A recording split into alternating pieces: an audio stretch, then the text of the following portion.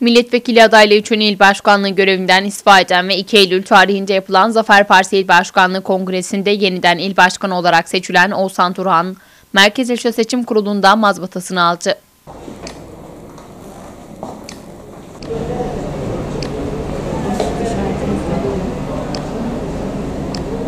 Zafer Partisi İl Başkanı Oğuzhan Turhan yaptığı açıklamada şunları söyledi. Evet, mazbatamızı aldık. Yönetim kurulu arkadaşlarımızla oluşan bir heyetten geldik. Ee, seçim kurulundan mazbatamızı aldık. Ee, Zonguldak zaferi için bugüne kadar çalıştık. Bundan sonra da Zonguldak zaferi için çalışacağız.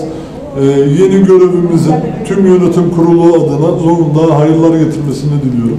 Bu doğrultuda çalışacağız. Tüm Zonguldak halkına Zafer Partisi çatısı altında siyaset yapmaya davet ediyoruz.